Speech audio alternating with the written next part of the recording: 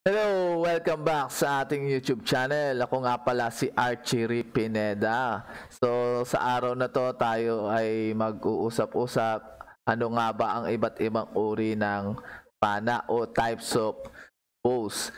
Kasi doon sa nauna ko or sa mga ah, dati kong videos, marami ang nagtatanong ah, anong klaseng bow yun? Ano pa ba yung mga ibang uri ng bow? Kaya naisipan kong gumawa na itong video na to para ah, maipakita ko kung ano yung mga iba't ibang uri ng bows. So bago ko simulan, gusto ko lang magpasalamat sa mga nag-subscribe na sa aking YouTube channel. Sa mga bago lang, huwag kalimutan pindutin ang subscribe button para ma-notify kayo once na meron tayong bagong upload na video. So ano pang iniintay natin? Simulan natin ang usaping types of bow. Ang una natin dyan ay ang tinatawag na fiberglass bow. Kaya ito tinawag na fiberglass ay karaniwan gawa ito sa fiberglass. At kadalasan ipinagagamit sa mga bata kasi magaang at maliit. Then, kung compare naman natin ang price nito ay ito ay mas mura kumpara sa pi, sa ibang pana. Hindi pala mas mura, pinakamurang pana sa lahat ng nahawakan kong pana. At hindi ito ganun ka accurate. Kumbaga toy grade lang to eh. Diba? Ano nga asahan natin sa toy grade? Ito ay for fun lang, lalo na sa mga bata. Siyempre, alam mo naman ang bata, makapaglaro lang, masaya na. At no design. Halos wala siyang ka-design-design. Meron lang siyang limbs, yung pinaka-curve niya. Meron siyang grip, yung pinaka-hawakan lang niya. At string, yun lang yun. Yan, lalagyan na ng arrow. Ready to shoot na yung bata. Maglalaro na yung bata. So, yan yung tinatawag natin na fiberglass bow. Sunod natin ay ang PVC bow. So kung mapapansin nyo, ito ay gawa sa PVC. Okay? So do it yourself. Gagawin mo lang to sa bahay mo. Dati nakagawa ako nito nung nagsisimula pa lang kami mag-archery. Gumamit ako ng PB, orange PVC. Then ininitan ko para maging pana. Nilagyan ko na ng string. So pana na siya cheap materials. Ito ang pinakamurang pana na nahawakan ko kasi ah ginawa ko lang to. Eh, nakakita lang ako ng PVC sa bahay, tapos nilagyan ko ng tali, may pana na ako. At ito ay for recreational lang. So, for fun lang to. Harutan lang, laro-laro lang. Okay? Next natin, ang traditional bow. Maraming uri ng traditional bow. Meron tayong Korean, meron tayong Mongol, meron tayong Japanese, 'di ba? Meron tayong longbow. Ayan 'yan. Nakikita naman natin. Kasi ito ay base sa istorya ng isang bansa. So, yan yung traditional bow. Okay, next tayo.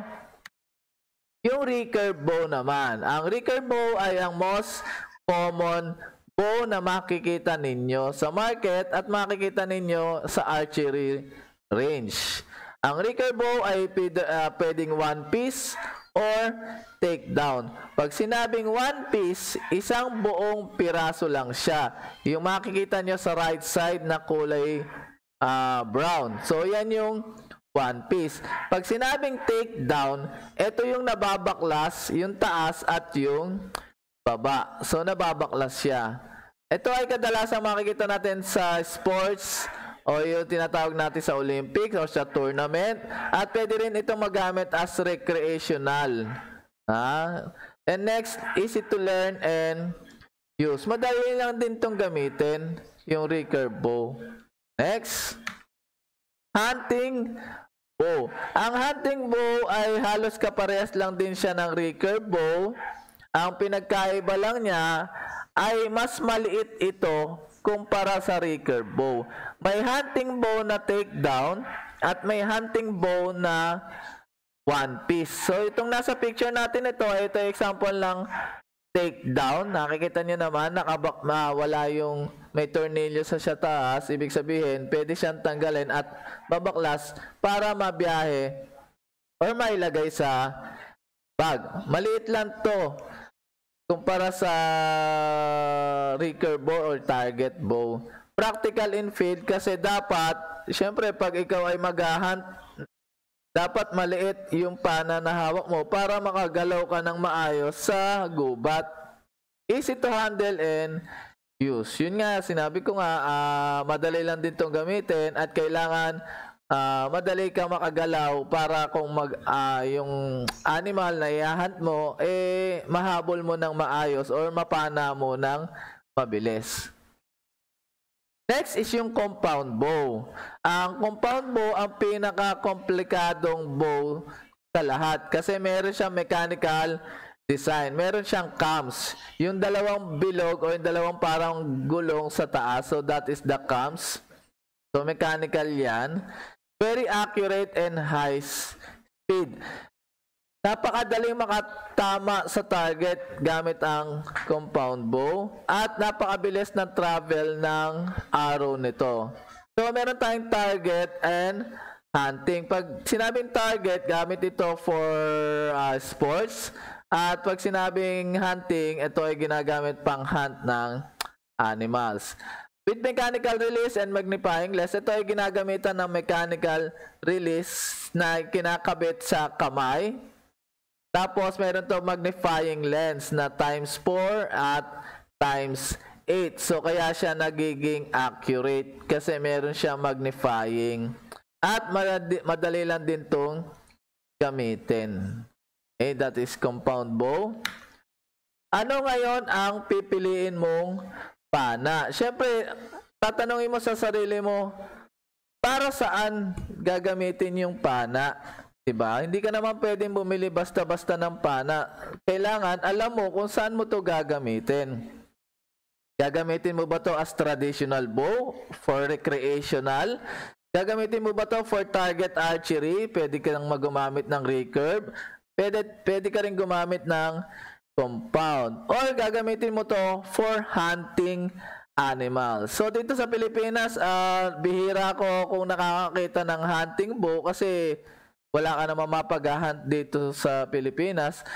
Karami ang nakikita ko, target archery, compound bow, at traditional bow.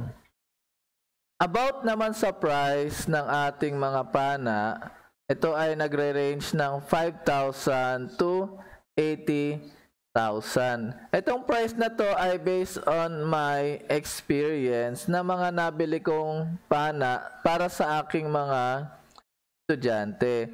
Pero ang alam ko, lalagpas pa ang mga pana ng around 100,000 lalo na doon sa mga Olympic players. Siyempre, kung beginner ka, mag start ka sa uh, basic bow na around 5,000. Then habang tumatagal, siyempre mag-upgrade ka kasi kailangan mo na ng skills.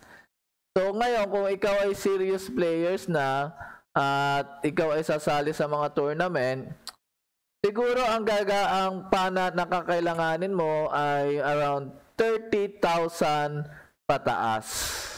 Yan. So yung may mga players ako na gumagamit ng 30,000 pataas na pana. Competitive na 'yon. Okay? May pag-asa ka ng manalo. Siyempre, sa tournament naman ay nananalo at may natatalo. Ang mahalaga lang naman dito ay nag-e-enjoy ka. So, ayan guys ang ating video tungkol sa iba't ibang uri ng posts. Kung may natutunan ka, huwag kalimutang mag-like and share ng ating video at mag-comment lang din kayo dito kung meron kayong mga ibang bagay na gusto na ipa-unbox at pag-usapan tungkol sa archery. At syempre, huwag kalimutang mag-subscribe sa aking YouTube channel para mas lalo pa itong lumaki at dumami pa ang videos at ma-notify kayo once na nag-upload ako ng panibagong video. So hanggang doon na lang. Muli, ako nga ulit, si Archery Pineda. Maraming salamat sa panonood. Bye-bye!